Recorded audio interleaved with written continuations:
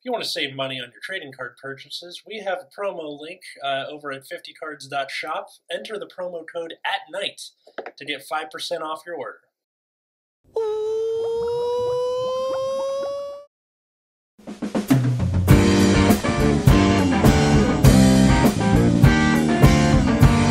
Hey, everybody, welcome to Nexus at Night, your weekly Vanguard podcast, broadcast from my apartment for the last time. I'm Atlas. I'm I'm Matt. I'm root beer. Okay, well, th- their apartments, they continue to be Yeah, in we're still here. Okay, but the weird, like, box thing that I'm sitting in front, that won't be a thing next week. I'll be in our new apartment. There'll be many boxes. I'm just kidding. It'll I be just in your a- new apartment, and it'll Yeah. still be all in boxes. Yeah, it'll, it'll just be a fort. I just made a big.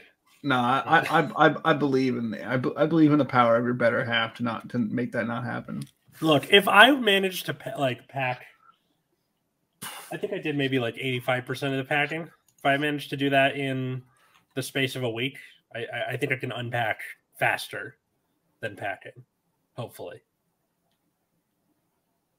Anyway, um, First time? no, and you and you know that for a fact. Mister made me almost pee my pants. I'll do it again. He'll just show up to your apartment bald. Yeah, bald and like with his silhouette in the doorway. God, whoever manages to keep up with the lore of this show, good for you. Because it's, it's like what almost eight. We're coming up on eight years now, something like that. Oh my Mhm. god! Don't It's say that. much. Anyway, uh, yeah, today we're talking about uh, uh tournaments. Um, what we want out of tournaments. So Yeah. there, there was a tweet from at Rui Yang. The million dollar question: What do you guys want to see for upcoming events? Better prizes, better player experience, And- so on and so forth. Okay, I don't entirely know who this person is, but from context, I think they're a Bushiroad employee. Let's see. Clicking on their profile just says Legend of Hay, and they're in Korea. Yeah, Um, so but also there, was a tweet where they said they would like stop using that account and mostly just post on Bushiroad events. Mm, Ah, okay. So I'm assuming based on that context that they are a Bushiroad employee. Gotcha. So that means that like the things that we say can possibly have an effect Yes. on which means I will have to under the Nexus at Night account reply to that with hmm. The this is the first time in a while where I feel like we have any sort of pull. I don't know. uh, I don't know how much how much there would be, but Mhm. the one thing that always surprised me is how even by other card game standards, Vanguard pricing is pretty poor. Yes. That is the number one thing that stands out to me. Yeah. Remember I think it was Springfest last year how they like didn't have the mat the participation mats available and we had to like go through uh you had to like give them your address and like they go had- to a store and pick it up. mhm. Yeah, that was something I had to do, and then I had to mail it to everybody. Yeah. That was a That weird, is weird moment. so funny. Yeah. So like I think recently in terms of like the promos they give out, they've been doing better because they're just like reprinting cards that people actually want. hmm So I got my broken toys. Uh Yeah. And then in terms of like the actual prizing, yeah, like the prize cards are okay. Like I'll take the what Bushiroad is doing right now over what like Konami does with their prize cards. Which is something broken that you kind of need. well, Sort of, these days like, they're just printing vanilla monsters. yeah. Um, I know for a time they did the like match winner ones, like Victory Dragon, although they stopped that around the time I was playing. When I was playing, you had things like Crush Card Virus, um, Dark End Dragon, the Synchro Monster, Mm-hmm. where like it had a reasonably good effect that got around Stardust Dragon. Minerva. Minerva, yeah. So all that sort of stuff where like you you would reasonably want to use those cards, which means they were uber expensive. Mm-hmm. Um, Yeah. The Like one I remember Bushiroad most is usually Giant Hand for some reason. I couldn't tell you why. mm. that was after I left because I left like early season. Oh yeah, yeah. Mhm. What what was up with Giant Hand? it was just vaguely playable sometimes. I see. Mhm.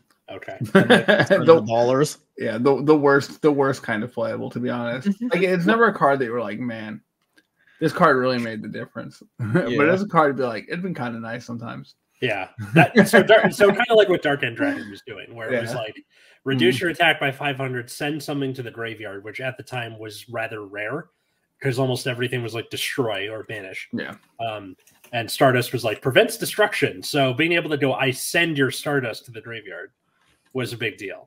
Um, and it was good, but also like you didn't need it necessarily. Your deck wasn't built around it. Mm-hmm. Yeah, like Bushiroad for the most part just gives out like the one promo, and then like if you get into top cuts, there's usually like a top mat and then like a hot stamped promo Mhm. of like an existing card. So we've had like Eva, Luard. I'm trying to think of what else has been hot stamped. Mhm. And I think that's like a good way to do prize cards, something already Mhm. existing, but you have the little like the flair. So Yeah. even apart from prize cards, like there's not even product as prize at Vanguard. Yeah, that I was about to which say. Like, is absolutely fucking bizarre when compared Mhm. to any other card game. yeah, they don't even really give like participation packs. Yeah. Cause like the well, it being a free entry tournament, I, I Mhm. assume they're not too keen on just being like, all right, here's you know, packs from a box or whatever. Um, I remember like certain regionals for Yu-Gi-Oh! it was like five bucks, but you would Mhm. get a pack with your entry. So it was like, okay, that at least is a wash for itself. Mhm. And I don't know if uh, uh, Bushiroad wants to, you know, go over that line. Yeah. But- Although I will say this year they did give out sleeves at uh BCSs. which is fine. I think that's good. Yeah. Um, And they actually had the sleeves as opposed to like making us give our address to a store and then having to go to the store and pick them up. if I had to have sleeves mailed to me, and not, and not like you know, oh, I got these cool sleeves on, you know, fifty cards.shop, uh, promo code at night for five percent off. Anyway, uh, it, it wasn't like a cool thing that you got in the mail. It was like just regular ass Rika sleeves. Rika sleeves. Yeah, like I have those sleeves somewhere. yeah. I might just go get them. Hang on. for what? He's gone. He's just went. he's just gone. gone. Yeah, he's dead. He's just just three Takadachis here to keep us company. His uh, his his insane laughing down the corridor is his ghost. Um, Maybe. yeah, like with pricing. Okay, so I mean, uh, my my entire apartment is in boxes, so I can't really. Uh, Yeah. But yeah, they gave us like these. Imagine like imagine if you had to like give someone your address just to have this mailed to you. Okay, so I don't quite understand the appeal. I don't know who that is. Yeah, like characters from the Vanguard show, it's a fraction of a fraction because like people who play the game might not watch the anime. Mm-hmm. So you're like, "Wh- who the fuck is that? Why would I care? I having units on the sleeves makes a lot more sense. I think Yeah. Being like, I'll trade you, uh, you know, Bastion sleeves for your Magnolia sleeve, whatever. Like it, it, that would make more sense, I think, than having the people on it. And also from there, you, you would also have to buy over sleeves Mm-hmm. because those sleeves you want to protect those. Yeah, because Yeah. they suck. Yeah. Yeah. Yeah, character sleeves are pretty fucking bad. Okay, even if they don't suck, you still don't want th- to have to like buy more character sleeves. Yeah, that's why after at some point I just stopped using character sleeves for anything. The only thing I use character sleeves on are Great Nature, and that's just because I did before and just haven't like stopped doing it. You know, Mhm. it's the same Magnolia Stride sleeves since like 2017. I don't use that stride in my G zone anymore, but it's still there. Those sleeves are still there.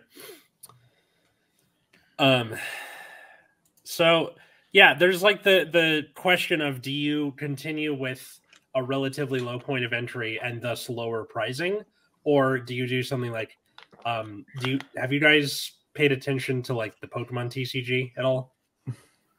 Yeah. No.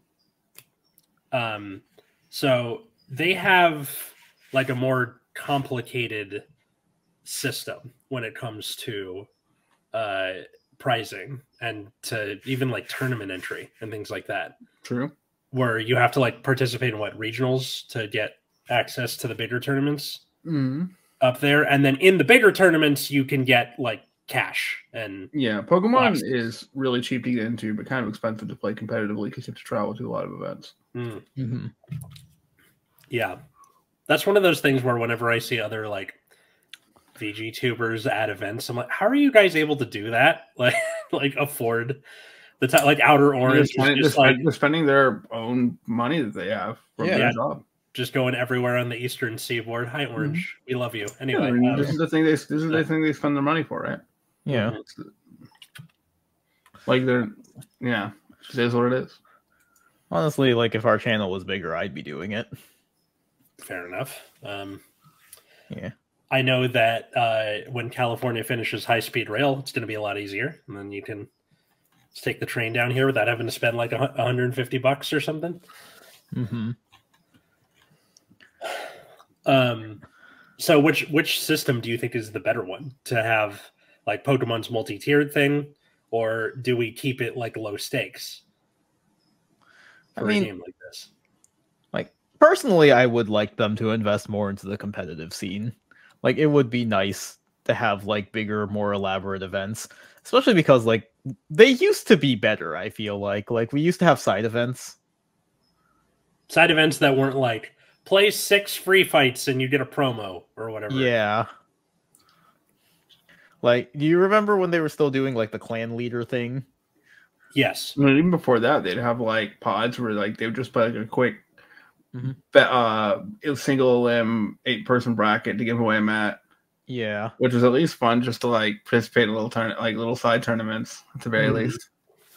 Yeah, but I think how did the like clan leader thing work again? Like you had to fight other people with the same clan, and then I think like if you won a certain amount, they gave you a certificate that said that Yeah. you were the clan leader. Yeah, and Yeah. Uh, Richard is Gold Paladin clan leader to this day.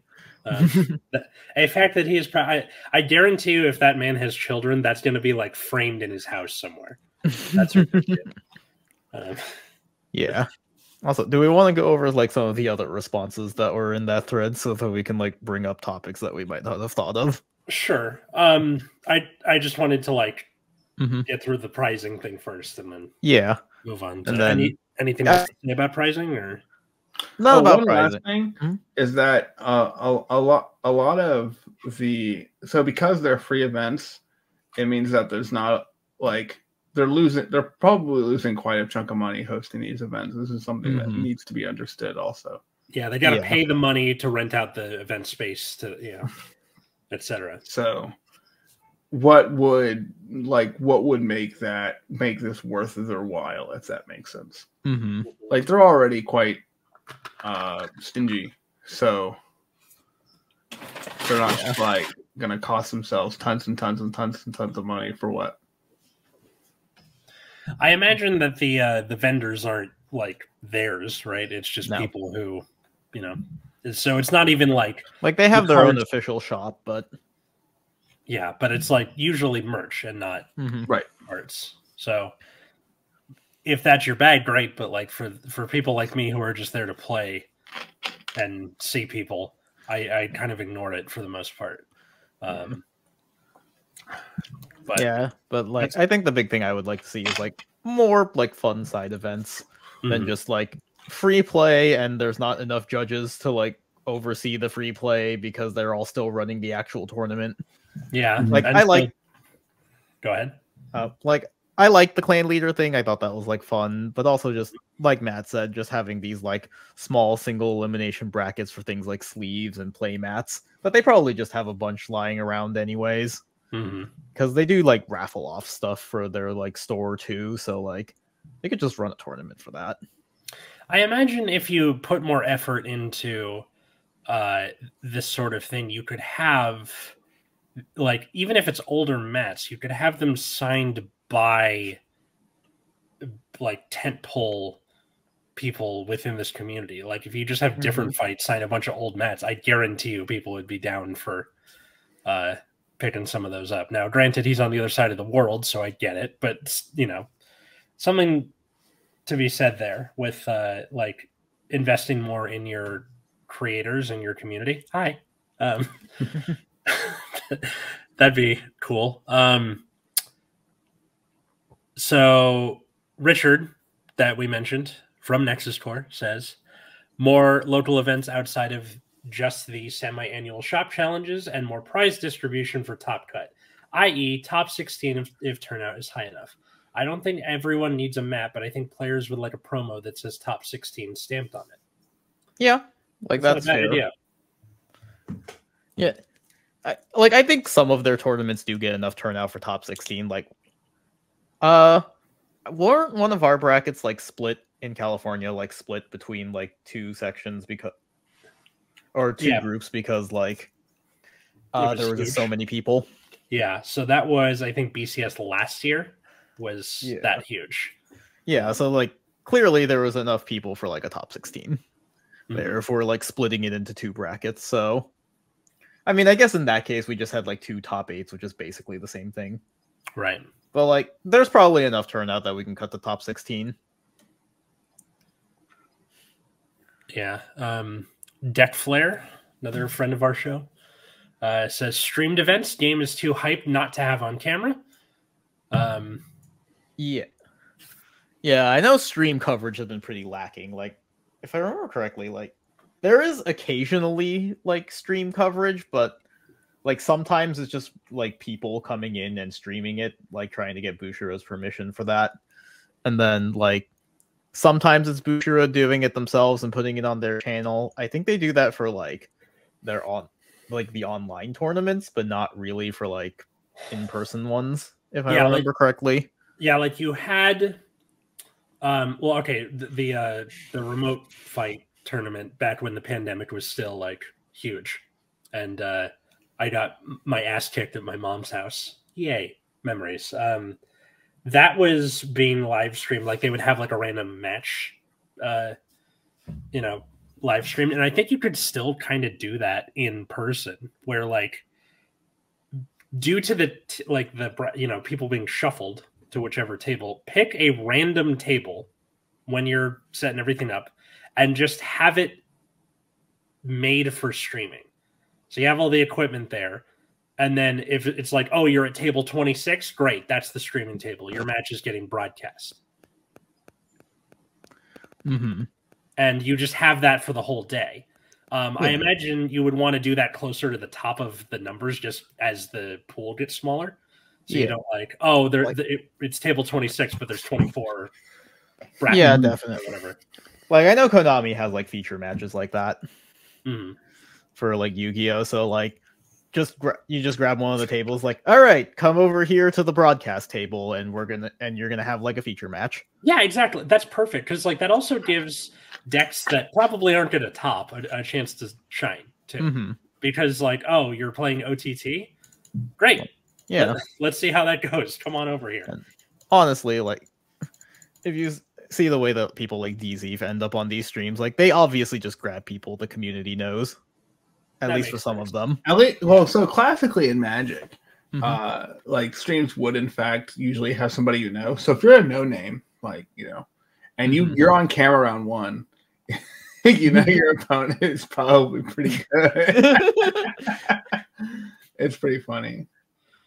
But uh, yeah, they usually grab people that are like important to like at least like Mhm. Magic could be like important to a tour or some well-known player, something like that.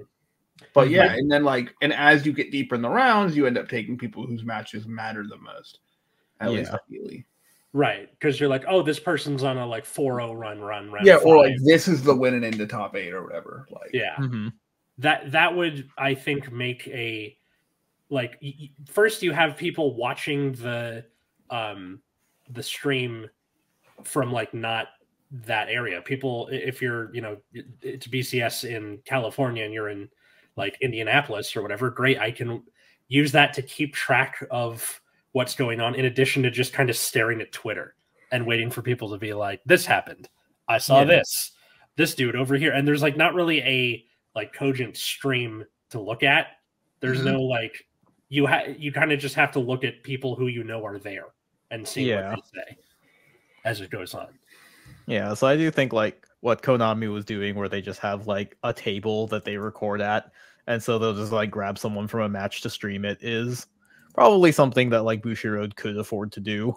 hmm I If- imagine that, like, usually for stuff like that, do you keep a like play-by-play and color commentator, like you do, like we saw with Worlds and things like that, or would you just kind of keep it like straightforward? Th- these are just the two people. Uh, you would have color commentary, yeah. Um, which does kind of complicate things a little bit because then you have to like find color commentators and possibly like bring them out. hey, Bushi, stand-up comedian, does a podcast. I'm around. Come find me. I'll, I'll to make, are you trying to make them afraid of you? I'll drop. Right. Fuck you, dude. I'll drop round two if it means I get to do it. It's really fun. Like I've done it for um just like a, a sketch my friend was doing for like a sports thing, but um yeah, it, it's uh it's pretty fun. I, I I think that I could see myself doing that uh in the future if they'd let me. And I know that's me just being like pick me, but whatever, I don't care. Mhm. Um, let's see more. Uh, going on with uh, the rest of Deckflare's tweet. More side events. So having potential alternate slash old formats would be so sick. Yeah, like what Konami does with Time Wizard events. Like we'd have to start normalizing like legacy formats because there was the like G format that people do, but also like G-boot, as they call it, I think. yeah, but they're also like uh Yu-Gi-Oh gets a lot more granular than that, right? Like they had Goat, Reaper, like Edison. Tengu Plant, Edison. Um, I think with uh, with Vanguard, you would have to have Bushi seeking out the communities wherever they're able to find them, Mhm. and then being like, we need to inflate your uh, like reach so that more people are interested, so that if we run this, you Yeah. can do that. Like I'd be curious what like slices of time we would use for like Vanguard Legacy format. Like Mhm. obviously there's G format, but even like G format is kind of broken up into several distinct eras, right? Like you kind of had early G format, which was just an extension of Legion for a really long time. Mhm. Uh and then you had that like mid G era where everything was like a degenerate combo deck and probably a contender for like one of the worst times in Vanguard's history. So, you know, like you had Refros looping, you had like time leap looping, Mhm. uh, I think like the Wise Wiseman loop came around during this time too. there was like yeah. all the really bad stall decks. Like, uh, I think like in hindsight, Ripples was probably like could have been dealt with at the time. Mhm. So if the second place deck played Black Boy, for example, Let's see. Uh, continuing on, I would be willing to pay an entry fee, five to twenty dollars for a better overall price support. We covered that, and then yeah, give fourth place a world's invite. Getting fourth feels terrible.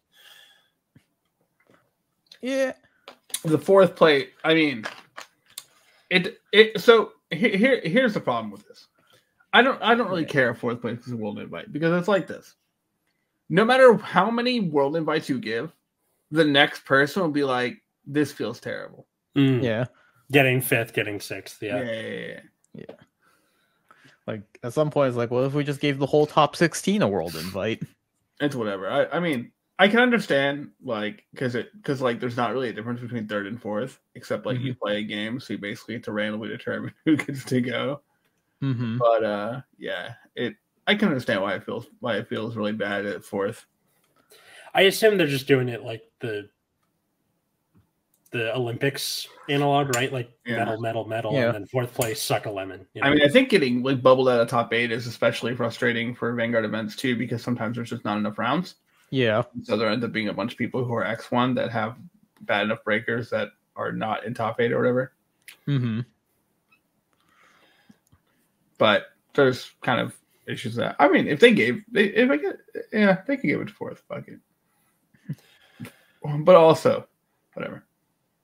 Um, a lot of these are kind of the same. that's not going to change like most people experience the tournament i don't feel yeah, probably At- not. Adding a fourth place world's invite? Yeah. No, I don't think it would. it's a very Um, specific scenario Yeah.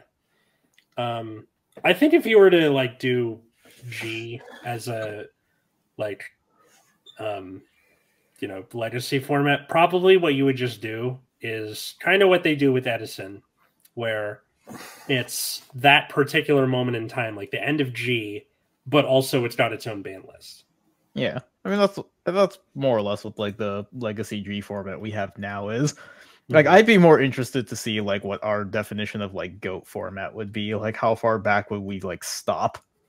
In my head, I would think Legion, but I I don't really know. I don't know. sure. Like Legion, Legion ended up being such a like. maybe. sh- I would probably like end it before Legion, like at break rides. I feel So like no one remember. Yeah, so the problem with like Legion as its own format was it was so short. Like, I'm looking at past tops just for like research purposes for other projects, and like there was maybe one. There's maybe like one section of events that like had Legion things, and then almost immediately went into G era. So like I would I would just treat Legion as like an extension of G era. Like that's I feel like most of Legion's relevance was like after the fact once they started printing all the legacy legions during G. Yeah, or just like for most of the clans, they got them as promos. You're like, here, take them. We're Yeah. moving on. Get on. Let's get on with our life. So yeah, if Um, we were going to do like distinct fo- I would probably do I would probably cut off like our version of goat format like at the end of break rides. hmm So that's what like BT fifteen, I think. Yeah. If I have the number right, yeah. Um, Like I don't know. Yeah, because I think the Bermuda set at the end of that still was in break rides. Yeah.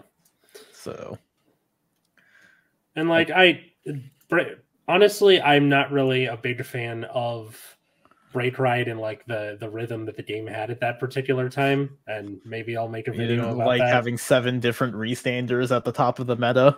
Yeah, it was like restanders, and then just like kind of sitting there waiting, Mm-hmm. where you're like, okay, d- can I, can I have my fourth damage yet? Because you couldn't even like self damage because it was a ride. It wasn't like, you know, Yeah. uh, having to turn on limit break before that. Um, Yeah. Although, like you still had like regular limit break cards that you were using too. Yeah, but like there there were times where like you just wanted to break the deadlock so bad you would just ride your thing on top of the break ride for node game just to like do something. You know, it wasn't very common, but just like I'm an impatient person, so yeah. that's how it I do- shakes out. Yeah. I feel like if we were gonna do like legacy formats for G, we could break them up into different eras. So hmm up to like I'd say up to about GBT three, we could probably make its own distinct format because four was when we got next stage. Yes, I don't know if like Gear Chronicles started being broken with next stage. I wasn't quite around yet. I know Gear direct- started being playable at next stage, and then it got Mhm. good in like six. No, like Um, five was when we when they got Mellum.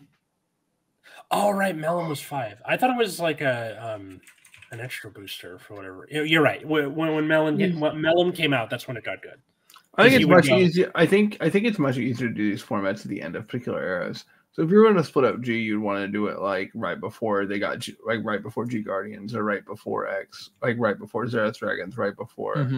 Okay, that Like makes sense. I think I think it's a little complicated to like try to like split it up at the exact point that you want or whatever. I think it's easier just to do it at the end of particular eras. Mhm. Yeah. I I also think that if they're going to do this kind of thing, th- what they should do is with the announcement of this, uh, you know, this particular tournament in these places, they should have what side events are going to be there in advance, because then you're going to have more people who maybe they don't want to play in the actual tournament and just want to be there for the side event, right? Yeah. some mm-hmm. dude who's who's got his thing for you know the legend deck from like right before G Guards came out, and they're like, "All right, cool. I'll I'll head over there and like let's do it." You know?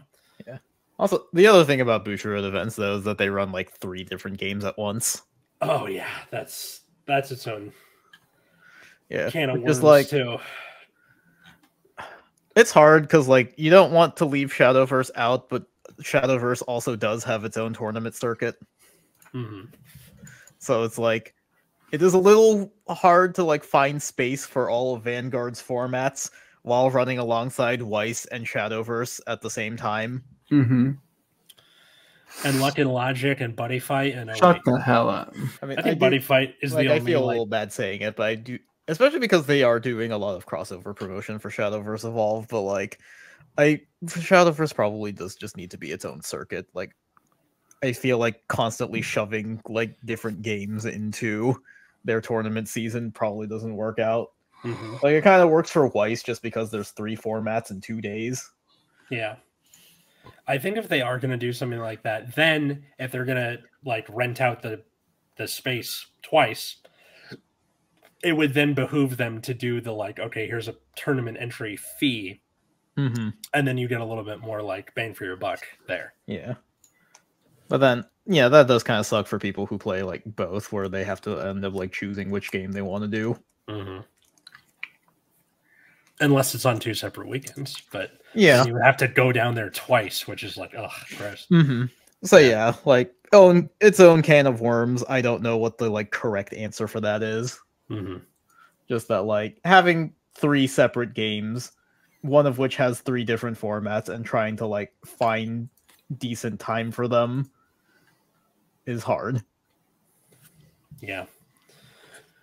Um, is there anything that like that's small that you think that they could add that you want to see? Uh, Like, I don't care how insignificant it is, just something petty. I mean, like their time management is still kind of iffy.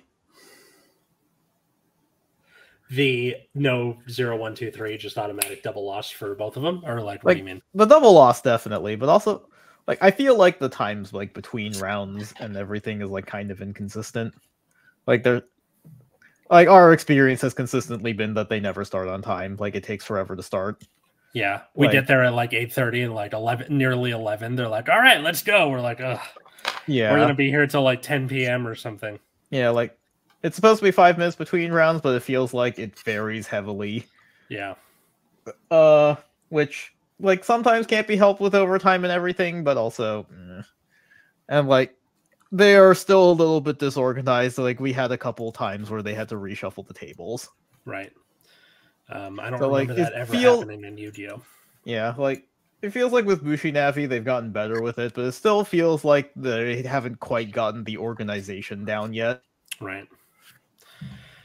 Um, I think if uh, if there's like something small, I miss the clan shirts that they used to have, and like just the clan stuff. Like they, they have uh, nation stuff now, and I get Mhm. it. That's your main format. But I really think like you could still move, especially on the premium day. Like having, um, like I had a, a, a Great Nature sticker on the back of my computer for a while, and then I got a new like computer case, and you know the sticker didn't come off. Um, so that's just gone forever. And like I, I kind of wish I got a, uh, like a Great Nature shirt, and I, I think that that's cool, or just like you know little stuff, right? Keychains, shit like that. I, I think that would move a lot because there's like a weird, almost hate to say it, nationalism toward whatever clan some people happen to be playing, or just like fuck it, looks cool.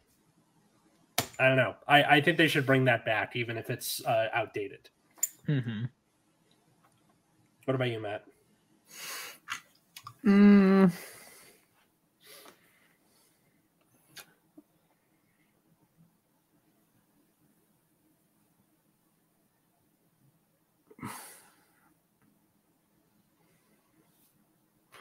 I don't know. The new format thing seems kind of not natural in a way. It's kind of like because Vanguard is not a game that really lends itself to having different formats very well. At least not like specific formats. Minus the eras, of course, that we ended in. Mm-hmm. Mm-hmm. So I think the G format could be one, but I think like any cutting it down past that is probably not worth it. You don't think that they should go like Legion in before? They should stay somewhere in G. No, I don't You think it's worth it. Okay. Because then I- you, then you run into a problem of card availability. Right. And I think with like V where they insist on keeping it around, um it's uh if you ended up going back to that as like a side event thing, you could use that as the excuse, right? Oh, it's Mhm. V um, this thing. um, and then not have to worry so much. I the like for Springfest where you had the three, uh, you know, different formatted teams. We we've done an episode on that already, so I don't need to go in too into detail. But I'm still not a fan. Yeah.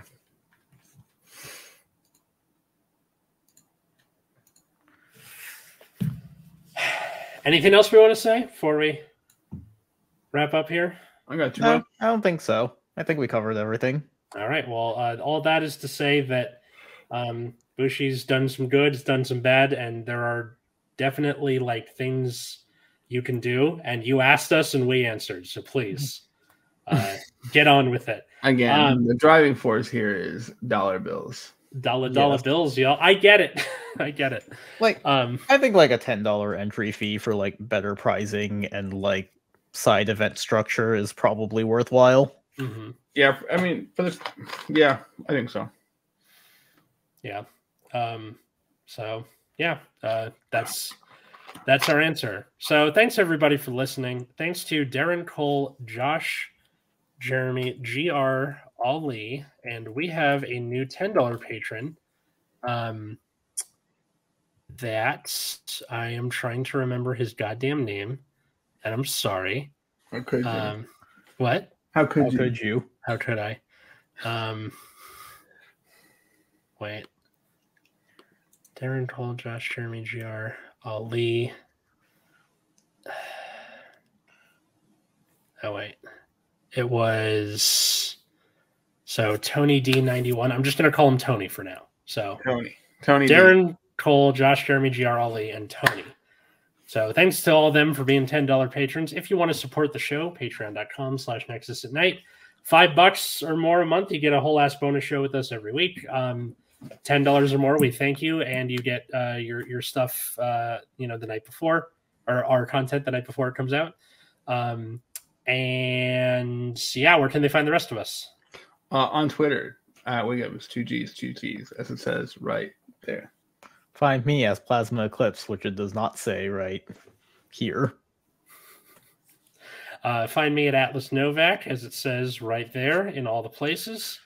Um, and uh, you can follow my YouTube channel, The Epileptic Comic, my other podcast, Generation Dan, that's about generational differences, or my other other podcast, that's every other Monday on Generation Dan's RSS feed, which is called Last Minute History. So the new episode coming out this week uh, on the YouTube channel will be about uh, part two of the Bronze Age collapse, the Sea People's attack. So get ready for that. Um, I don't think I said it before at Nexus at night on all the stuff. so Um, true. yep. So thanks everybody for listening. And until next time, I was Atlas I'm still Matt. I'm Root Beer. and have a good night. everyone.